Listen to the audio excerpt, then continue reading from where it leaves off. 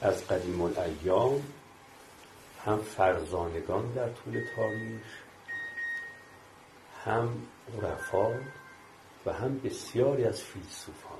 این سه دسته معتقد بودن که جهان هستی رو خدا مثل یک پازل آفرید دیدین پازل های هزار تیکه هست بزرگ مثلا از این میزه و هزار تیکه هست این پازل ها هر چه طراح و مهندسش قویتر و مبتکرتر باشه علامتش اینه که وقتی شما وارونه می‌کنید پازل رو میریزید همه تیکه هاش هزار تیکش رو میریزید روی این مثلا مبل و خود پازل می‌ذارید اونجا اگر مهندس و طراحش تراز اول باشه هر کدوم از این تیکه ها فقط و فقط و فقط تو یکی از این خونه ها جا می‌گیره.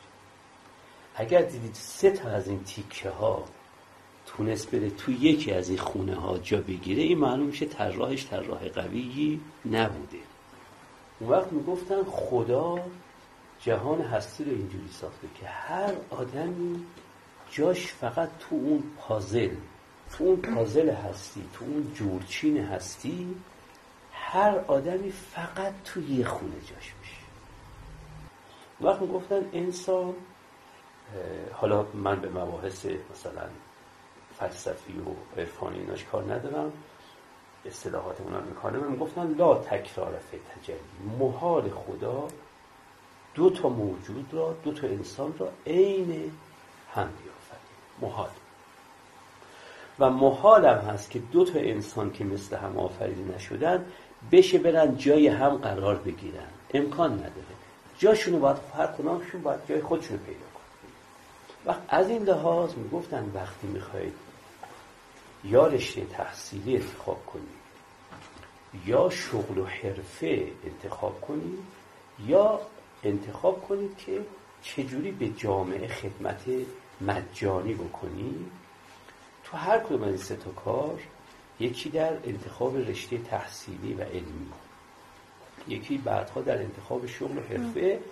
یکی هم در کارهای خیریه که می‌خواید بکنید که می‌خواید مجانا یه خدمتی به جامعه کرده باشید گفتن تو این ستا باید برید بگردید خونه خودتون رو تو هستی پیدا اگر خونه خودتون تو هستی پیدا کردید اون وقت در وقت مردن محاله که وقتی به گذشتهتون برمیگردید چون در بستر احتضار تمام گذشتهش میاد جلوی چشمش.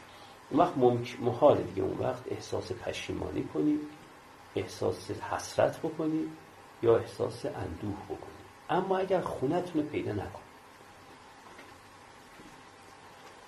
و خودتون رو زور چپون کنید یه جوری از سر و گوش خودتون بچینید و زاویه دار کنید خودتون رو منحنی کنید خودتون رو برای که یه جوری توی خونه دیگه جا بدید. اون وقت تمام عمرتون با پشیمانی و با حسرت و با اندوه طی خواهد شد و که باید جاتون پیدا خب بعد مرحله دوم گفتیم خب حالا جامون از کجا فهمیم تو هستی کجاست؟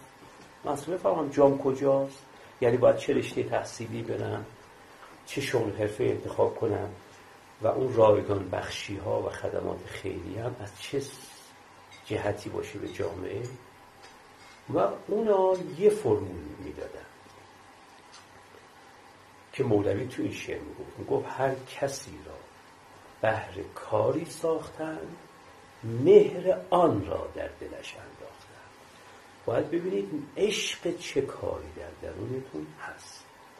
باز تا اینجا که می‌گفتن یه گام جلو اومده بودن که خب لاغر هم از راه عشقش می‌تونه بفهمه که من خونم تو پازل هستی کجاست. اما بازم عشقم از کجا بفهمم؟ وقت اینجاست که تا الان 16 تا آزمایش ادعا شده به دست فرزانگان در طول تاریخ به کسانی مثل بودا رامانوجا مثل نمی‌دونم. شنکره اینا که بهشون میگن فرزانگان تاریخ بعضیش به دست عارفان ابداع شده بعضیش به دست فیلسوفان و اخیرا یعنی در این صد سال اخیر که روانشناسی روش کرده خیلیش هم به دست روانشناسی. تا اونجایی که من شمارش کردم و تو کتاب خوندم من به 16 تاش رسیدم. حالا ممکنه بیشتر از اینم باشه ولی تا الان ندیدم جایی که همه این آزمایش ها یک جا ذکر شده باشه ولی نه 16 تا آزمایش. اگر واقعا تو هر کنون 16 تا آزمایش خودتون رو واقعا واقعا واقعا ببرید تو پوست اون کسی که این آزمایش رو داره انجام می‌گیره وقت جواب خودتون رو پیدا کنید با هر کدوم از این آزمایش ها یه قدم به شناخت خودتون نزدیک میشید. وقتی انجام می‌دید خودتون رو خوب می‌شناسید. وقت فهمید آها پس من باید برم این رشته تحصیلی یا من باید برم این شغل حرفه رو انتخاب کنم یا من اگه می‌خوام به جامعه خدمت رایگان بکنم از این راه باید خدمت رایگان کنم. چون از هزارها راه میشه به جامعه خدمت رایگان کرد.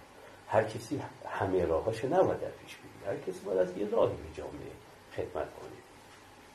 توجه می‌کنید؟ مثلا ممکنه یک کسی خدمت رایگانش به این جامعه این باشه که بگه من این بچه پشت کنکوریا که پدر و مادرشون اونقدر درآمد ندارن که سه چهار میلیون پنج شیش میلیون بدن که این بچه ها بدن کلاس کنکور من برم مجانا بهشون کلاس کنکور درس میدم. این یه راه خدمت مجانی.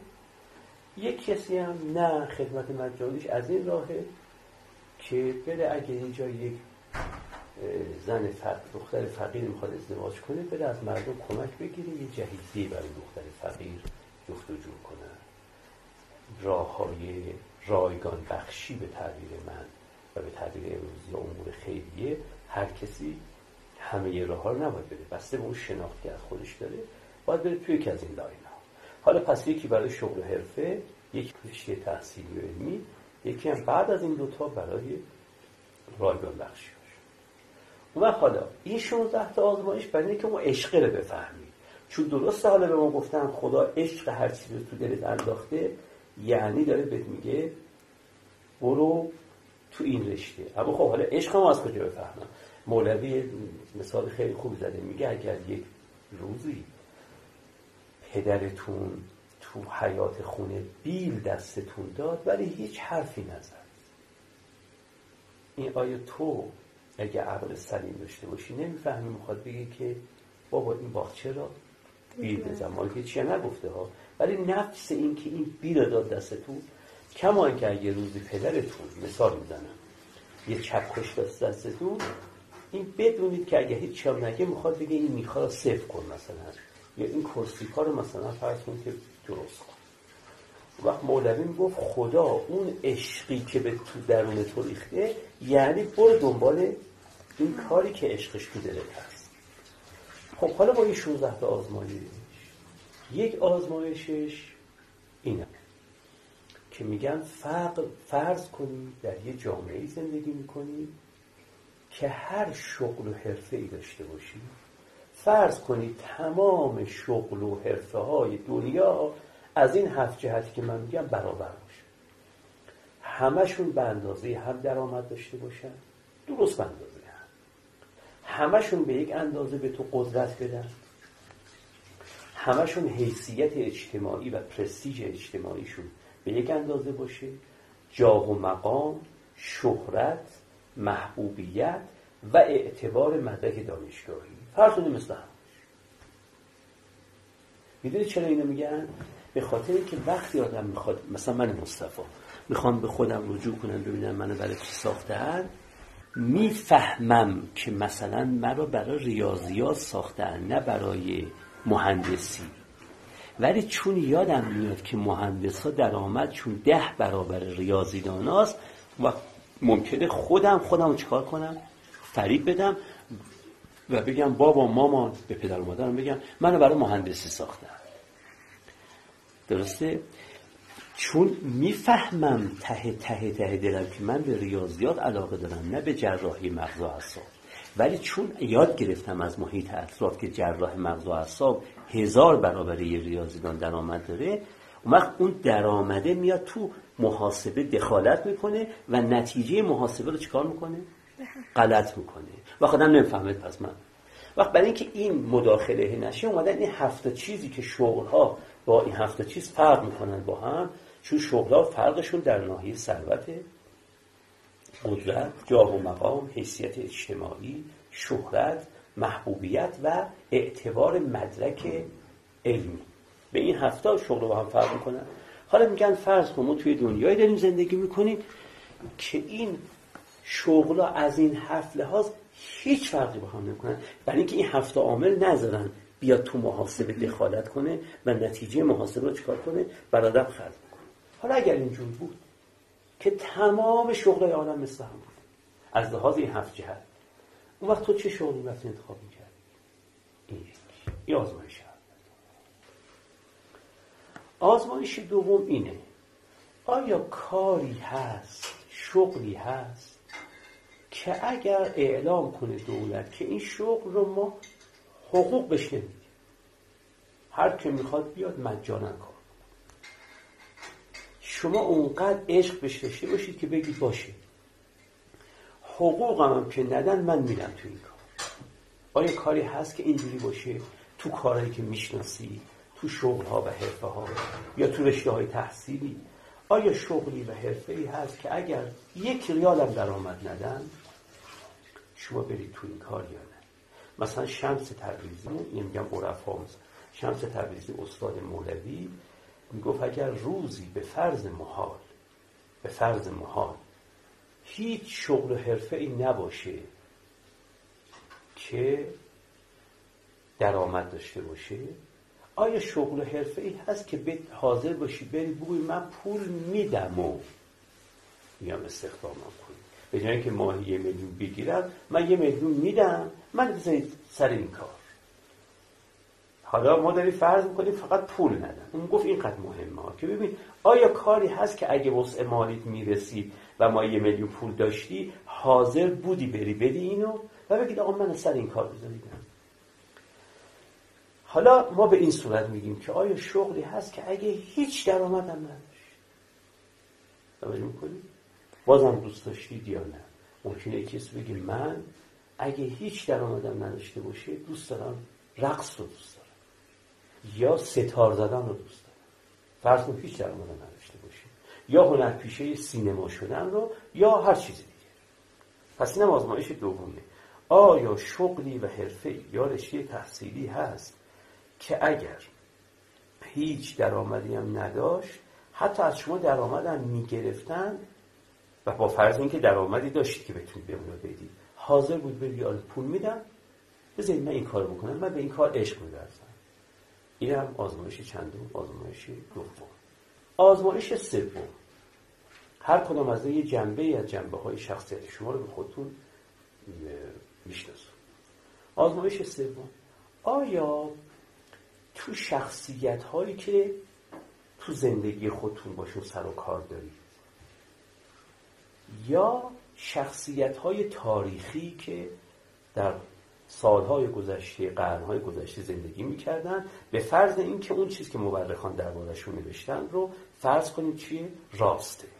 آیا شخصیتی هست که شما حاضر باشید جا شما رو با او عوض کنن با تمام خوبی و بدیاشا؟ مثلا یه وقت ممکنه شما بگید که آیا حاضرن با آینشتین جامو عوض کنن؟ اما بعد که می‌فهمید آینشتین چقدر فقر کشیده؟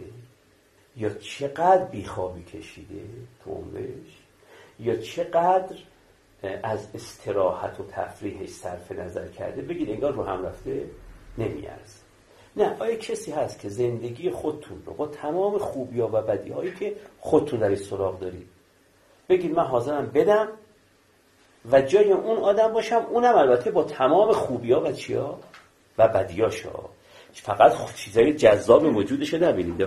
ببینید پشت صحنه چه صدماتی خورده چه لطماتی خورده چه هایی هایی دردها رنج ها آیا کسی هست که بگید آره حاضر هم چی؟ یه جا منو بردارم و به جا اونو به من بدن. من جا اون باشم در واقع. توجه می‌کنید؟ ممکنه کسی بگه آره من دوست دارم مثلا جای حضرت علی باشم. یه کسی ممکنه بگه من دوست دارم جای فرسون انشتین باشم. یه کسی ممکنه بگه من دوست دارم جای رئیس جمهور آمریکا باشم. ببینید کیه که دوست دارید با تمام خوبی ها و بدیهاش و زشتی ها و زیبایی هاش و نقاط قوتش و نقاط ضعفش و نکات مثبت وجودش و نکات منفی وجودش لذت هایی که برده و از اون طرف علم ها و دردوننج هایی که آیده شده. همچی کمپلت یعنی کارتونی. در بسته و سربسته. شما رو با تمام خوبی ها و بدیاتون بردارن اونو بهش بدن. از جمله ممکنه شما پدر خیلی مهربانی دارید. او پدر چی داشته بوده؟ خیلی خشنی داشته ها. اونم به حساب بیاره توجه اگه دیدی دیگه همچین کسی رو تو خیشانتون تو دوستانتون تو که تو زندگی تا الان شناخته چون یا تو تاریخ سراغ دارید که حاضرید با اینکه می‌دونید مادر بد اخلاقی داشته پدر خشنی داشته با اینکه می‌دونید تو زندگی شکنجه های زیادی کشیده ولی بگید بازم میارزه. خوبی ها و بدیاشه که جمع می‌کنم رو هم با و خوبی و بدی خودم هم که رو هم جمع می‌کنم باز می‌بینم حاصل جمع و تفریق این خوبی و بدی های خودم و اون بازم خوبی های او بر خوبی های من میچربه. درجه می‌کنید؟ اگه یه همچی کسی هست که حاضرید واقعا تاخت بزنید عوض کنید زندگی تو با او وقت ببینید تو اون چه ویژگیش اینقدر شما رو جذبتون کرده اون آدم. وقت این ویژگی رو تو زندگیتون باید دنبالش باشید. چیه که من حاضرم با تمام ها و شکنجه هایی که علی بن ابی طالب کشیده حاضرم کل زندگیمو بدم و کل زندگی او رو بگیرم؟ اگه دیدم حاضرم وقت باید ببینم چه ویژگی تو علی بن ابی طالبه که اینقدر منو جذب کرده که حاضرم کمپلت خودم رو بدم کمپلت او رو بگیرم حالا ممکنه بله. یک ویژگی ببینی تو ممکنه دو تا ویژگی ببینی ممکنه سه تا ویژگی. اون یکی دو تا سه تا اونو خیلی مهم تو زندگیتون شما رو برای ادامه اون راه ساختن. باید یه جوری زندگی رو برنامه ریزی کنی که اون دو تا ویژگی سه تا ویژگی یه ویژگی که تو آدم دیدی زیر پاتون لگدمال نشه رعایت بشه پاسش رو بدارید. اینم آزمایش چهارم. آزمایش چهارم اینه که این آزمایش رو فرزانگان قدیم بهش تأکید می‌کردن ولی یونگ روانشناس معروف قرن بیستم روش پافشاری کرد. یونگ حرفی می‌زد می‌گفت اگر یک چیزی تو قصه های همه ملل جهان وجود داره معلوم میشه این جزو کهن الگوهای روح آدمی. و و به اونها می‌گفت archetype های روح آدمی کهن الگوهای روح آدمی. و می‌گفت اون رو آدم باید کاملا بهش توجه کنه. یکی از معلفه هایی که یون کشف کرده بود که وجود داره تو همه قصه های همه ملل جهان اینه که تو قصه های همه اقوام ملل عالم گاهی وقتا شخصیت را شخصیت مثلا داستان توی صحنه بهش میگن که فلانی یک آرزو بکن هر آرزویی باشه برآورده میشه حالا این آزمایش چهارم اینجوری فرض کن از یه راهی که سر سوزنی شک نداشته باشید یقین داشته باشید که این قول که میگن درسته. به شما بگن یه آرزو بکن. هر آرزویی باشه برآورده میشه. اما با سه شرط. شرط اولی که یک آرزو بکن. اگه بیش از یکی کردی هیچ کنش برآورده نمیشه. دو تا آرزو کردی سه تا آرزو نه.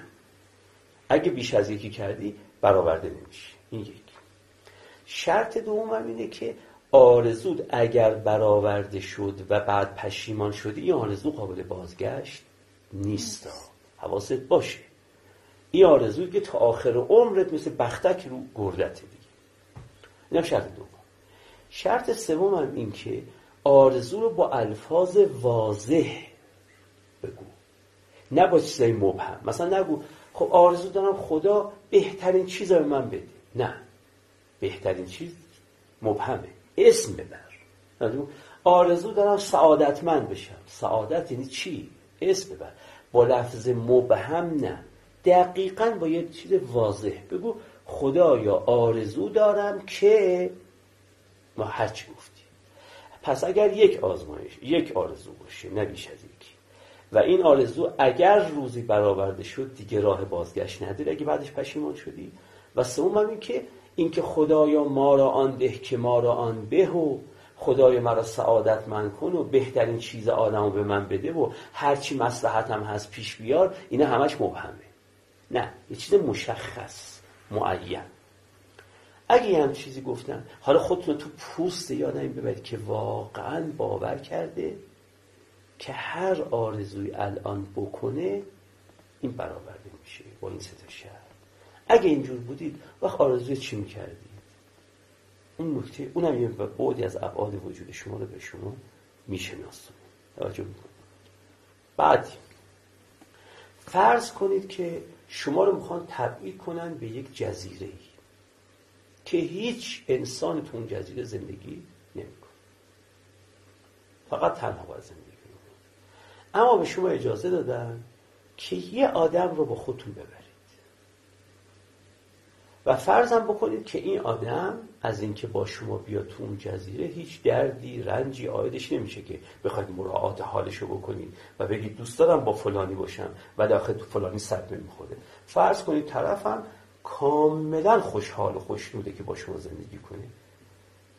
توجه می‌کنید چی رو با خودتون همراه برید توی انسان هایی که می‌شناسید شخصیت هایی که تو کتاباتون خونده اید آیا کسی که از هست که حاضر باشید بگید اگه یه عمری و فقط با یکی زندگی کنم توی جزیره دوست دارم اون یکی این باشه.